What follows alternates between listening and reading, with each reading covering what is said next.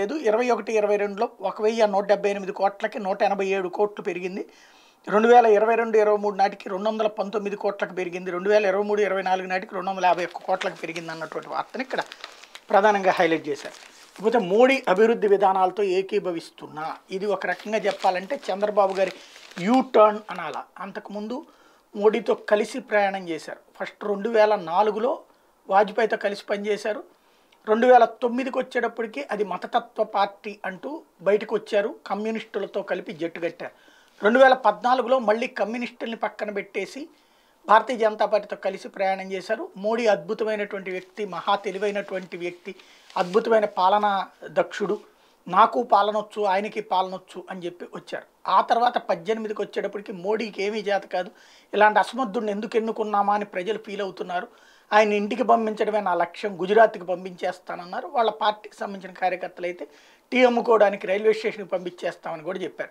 ఇప్పుడు మళ్ళీ చంద్రబాబు నాయుడు గారు మోడీ అభివృద్ధి విధానాలతో ఏకీభవిస్తున్న రెండు వేల పంతొమ్మిదిలో మీరు ఎన్డీఏ ఏతర పక్షాలను ఏకతాటిపైకి తెచ్చి ఒక కూటమి ఏర్పాటు ప్రయత్నించారు. ఇప్పుడు మీరు ఆలోచనకు వ్యతిరేకం కాదని అనుకోవచ్చా? చంద్రబాబు ప్రధాని నరేంద్ర మోడీ తీసుకున్న సానుకూల చర్యలన్నింటికి నేను మద్దతు ఇస్తున్నాను ఆయన నిర్ణయాలు ఆలోచనలతో ఏకీభవించినట్టే కదా. మహోన్నతమైన ఈ దేశ అభివృద్ధికి అందరం కలిసి పనిచేయాలి. అలాంటప్పుడు ఎన్డీఏ కూటమిలో చేరేందుకు మీరు వ్యతిరేకం కాదని అనుకోవచ్చా? అన్ని కాలమే నిర్ణయిస్తుంది. ఇది చంద్రబాబు స్టేట్మెంట్. అంటే బీజేపీతో కలవడానికి సిద్ధం అన్నటువంటిది. విజన్ టూ థౌజండ్ ఫార్టీ సెవెన్కి సంపూర్ణంగా మద్దతు ఇస్తున్న రాజకీయాల్ని అభివృద్ధిని వేరువేరుగా చూడాలి. ప్రధాని దేశం కోసం ఆలోచిస్తున్నప్పుడు ఆయన దారిలో మనం వెళ్తే తప్పేంటి? ప్రత్యేక హోదా విభజన హామీల కోసమే గతంలో విభేదించా? రిపబ్లిక్ టీవీ సదస్సులో చంద్రబాబు వెల్లడి.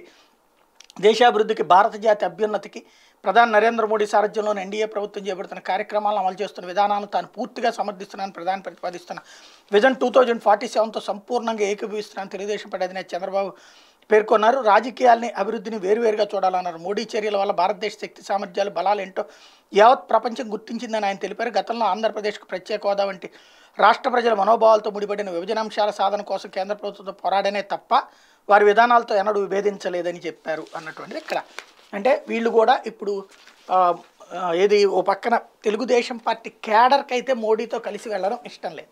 కానీ చంద్రబాబుకి తెలుసు మోడీతో కలిసి వెళ్ళకపోతే కష్టమని కానీ భారతీయ జనతా పార్టీ అయితే మోడీతో కలిసి వెళ్ళడానికి సారీ చంద్రబాబుతో కలిసి వెళ్ళడానికి సిద్ధంగా లేదు.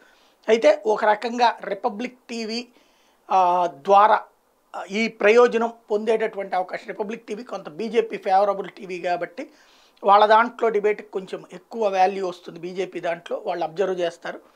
అంటే ఇక్కడ ఆల్రెడీ తెలుగుదేశం కానీ వైసీపీ కానీ అందరూ జ మోడీకి అనుకూలంగానే ఉన్నారు. పవన్తో సహా పవన్ ఈ మధ్య కొంత విభేదిస్తున్నటువంటి సందర్భం. ఇప్పుడు ఒకటేంటంటే రాష్ట్రం అభివృద్ధి చెందాలంటే కేంద్రం నిధులతోనే నడుస్తోంది ఇప్పుడు రాష్ట్రం. ఎంత అవునన్నా కాదన్నా పేర్లు మనం స్టిక్కర్లు వేసుకుంటున్నాం ఎక్కువగా అంతకు మించి మరేం లేదు.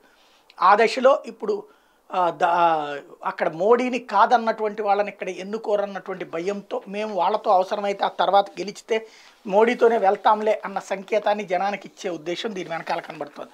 లేకపోతే